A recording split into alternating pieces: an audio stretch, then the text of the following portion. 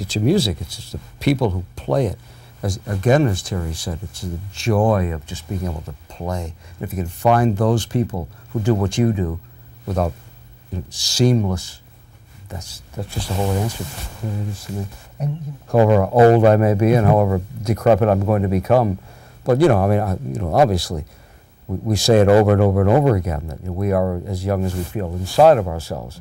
Unfortunately, the you know the physicality sometimes goes away a little bit, but it doesn't matter.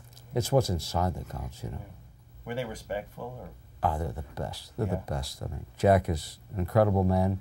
Uh, So his love Kyle is as well. You know, his, he's a his, his, his love is rock and roll first. Right. That's what his love is. Jack's love is rock and roll. This is how he, the people that he started with, who influenced what he did and made him be able to think about uh, life because of the music, are the people that he remembers.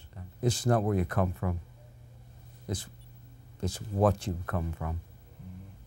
And it doesn't matter where you live.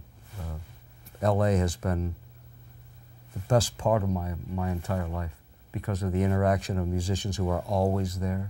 You can always talk to, you can always play with, think about, admire, uh, idolize. To, to me, that never happened in New York. There was a time when maybe perhaps that happened, but for me, this has always been the most important place for me.